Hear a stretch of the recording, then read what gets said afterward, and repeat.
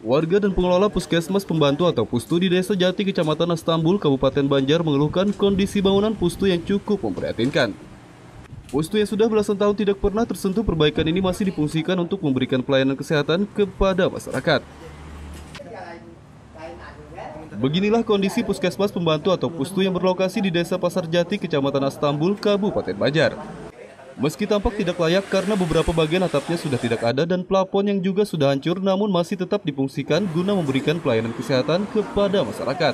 Kondisi seperti ini dikeluhkan oleh pihak pustu dan juga masyarakat setempat. Mereka berharap mendapatkan perhatian dari pihak pemerintah daerah.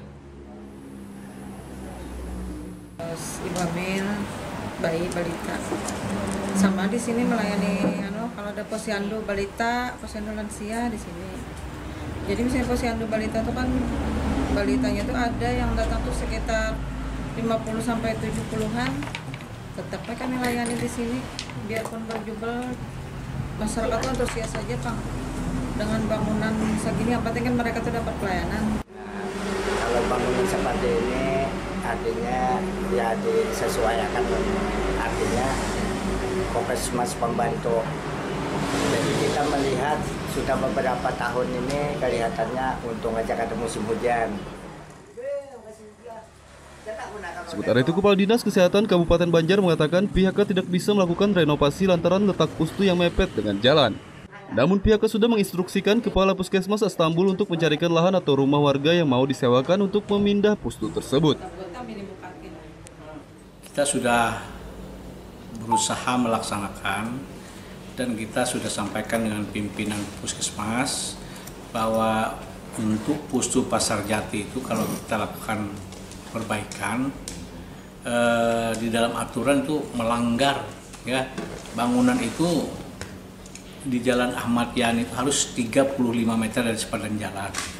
Nah kalau kita lakukan upaya perbaikan nantinya akan bermasalah karena melanggar aturan. Nah untuk itu kemarin kita sampaikan dengan pimpinan puskesmas.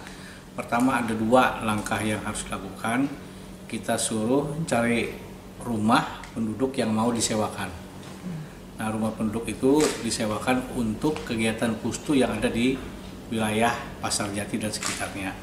Kemudian yang kedua kita juga sampaikan dengan pimpinan puskesmas cari lahan lahan kosong, apakah rumah, apakah tanah yang nantinya akan kita lakukan proses pembelian melalui proses perencanaan yang dilakukan oleh pemerintah daerah. Menurut pihak pengelola Pustu Pasar Jati yang sudah bertugas selama 22 tahun bahwa Pustu di tepi Jalan Nasional Ayani kilometer 49 ini terakhir direhab sekitar 19 tahun silam. Pustu ini sendiri melayani tiga desa yakni Banuanyar, Pasar Jati, dan Danau Salak. Dengan rata-rata sebanyak 20 orang pasien setiap harinya. Muhammad Lutfi Darlan dan Fahmi melaporkan dari Kabupaten Banjar, Kalimantan Selatan.